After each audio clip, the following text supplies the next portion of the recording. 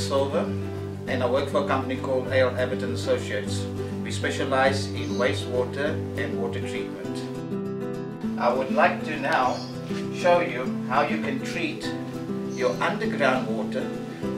Note that I mentioned underground water and not borehole or well point water because you can actually treat your well point and your borehole the same way.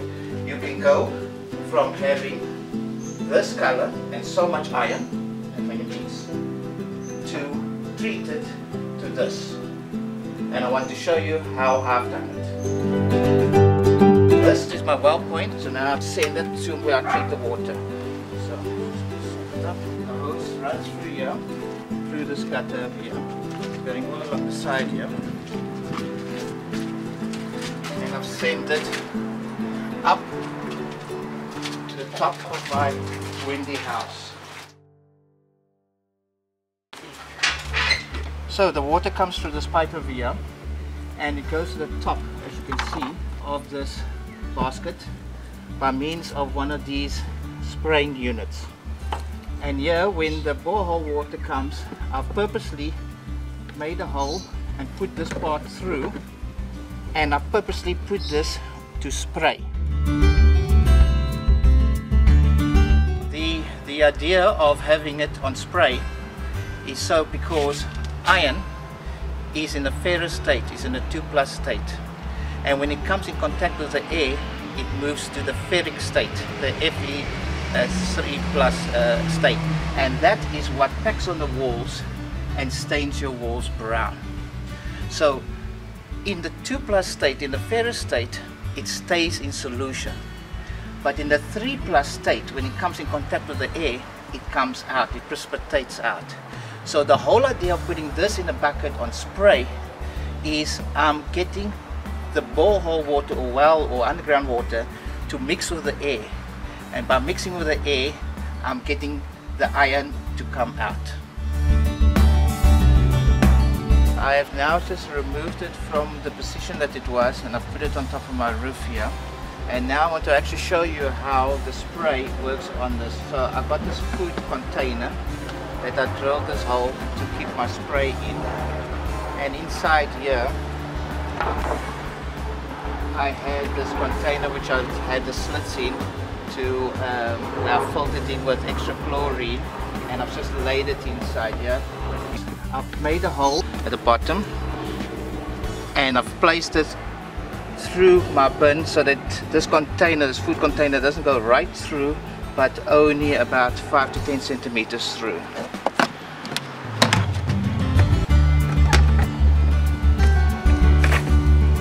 Then as you can see inside this container I've got one of those pool chlorine floaters and what I have done is I have attached this pipe, this 40 uh, mil pipe that goes down to a T-piece and I've drilled these holes so that when you spray the water the water then um, gets sprayed here and it goes down this pipe to the bottom of this bin and it comes up through these holes or the sides there and it gets chlorinated by this floater that I've got. And when it's full it comes out here and then it goes out where it gets mixed with the rocks. And I put these bricks with holes in that so that I can get proper mixing so that I know that the chlorine has got good contact time with my borehole water. Now the well point or borehole underground water is being mixed there, it's coming through here, it's being mixed here and it goes directly to the bottom with this PVC pipe with a T-piece I've split it up. So the water is rising up and when it reaches here it goes out here. Now the water is going through here, through this pipe here, and it's going down the side of my Wendy house. Now comes from the JoJo tank, and it's being, it comes into this funnel here. Second, I just want to show you how it's coming out, how clear it's coming out, but this is not the final product.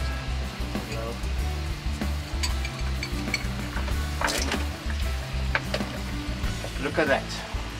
So now I've sent the water down to the bottom of this JoJo tank and what I've done is I've got sand. If you can see at the bottom. I've also got a long PVC pipe that's running on our side with holes to send the water up. So now the water is coming through here and when it reaches the top here it's going outlet through this PVC pipe here. And I've got it to go near uh, my pool I let it go here and what I've done here is I let it go through a 5 liter plastic container that I cut holes and I put gauze so the water is now flowing through here as an extra filter. And there you can see the result of the water going into the pool. So I use it to top up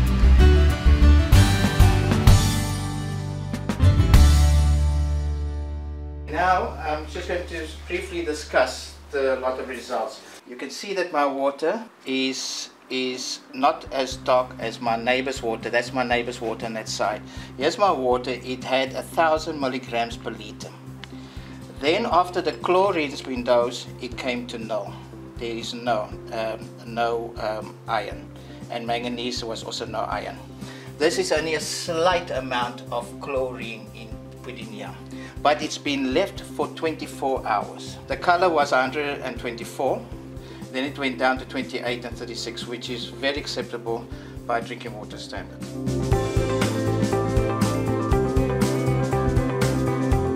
Uh, the cost of all this actually costs 6,000 rand with all this PVC piping, uh, tubings, pool fittings, uh, extra setting tank, the pool sand, all that then I realized that it was not actually necessary.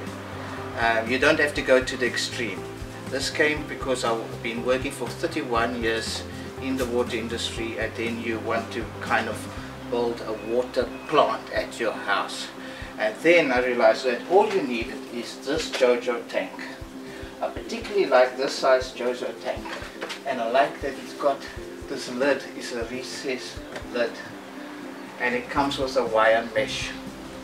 Now all you had to do is get maybe a 5 liter uh, uh, used container, get your spraying uh, nozzle through here and attach it so that the water sprays inside here and adjust this above this and with this reset here you take cloth and you put um, some HTH on top you lay it on top of this cloth and you let the water spray through the HTH through this cloth which is got that thing here. Then the water will drip down go all the way to the bottom and let it fill up to the outlet here. When it's reached here you stop your pump. And you also take how long it actually took to fill up on spray then you'll find then you leave it the secret is to leave it for 24 hours. Um, longer even better. Then you'll find that the iron and the manganese will start to settle out and it will start to settle out to the bottom. Then you can fit the fitting into the tap and connect it directly to your swimming pool. And then you can open the tap and you will have the clear water here going down and out into the swimming pool it's a good idea to take this handle off the step here so that small children can't um, can't come here and think that this is ordinary drinking water or something. Because remember this water is chlorinated water. That is what takes out the iron and manganese. So safety is a good precaution maybe even a sign to say non-potable water and all that. You can now also easily control the amount of chlorine that goes to your pool. If you think it's too much chlorine, then you just reduce the amount of chlorine by taking some out from the cloth.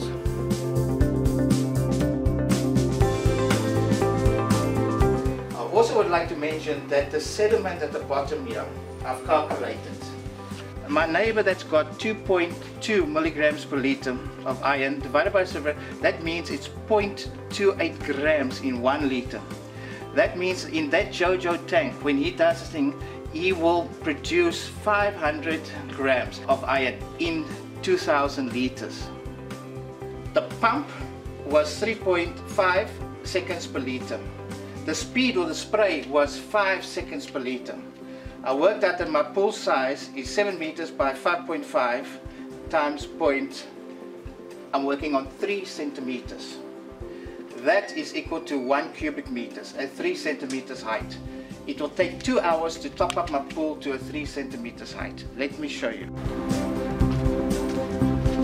From a distance from here to there, the JoJo tank that I showed you will fill up this in 2 hours.